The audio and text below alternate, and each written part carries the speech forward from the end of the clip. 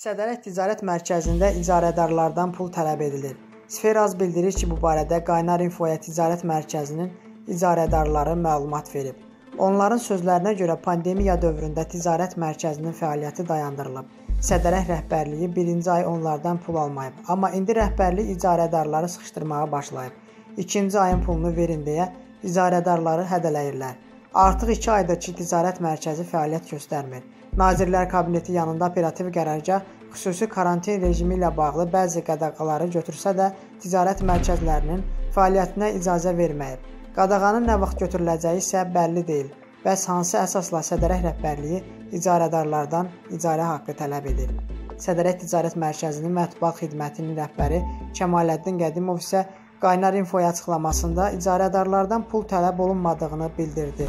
Bazar bağlıdır. Axı bağlı olan bazardan kim yer haqqı tələb edir? Olmayan yerdən pul almaq olar?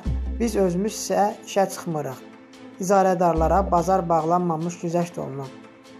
Kəmaləddin Qədimov qeyd edib ki, operativ qərargah nə qərar versə, ona uyğun addımlar atılacaq.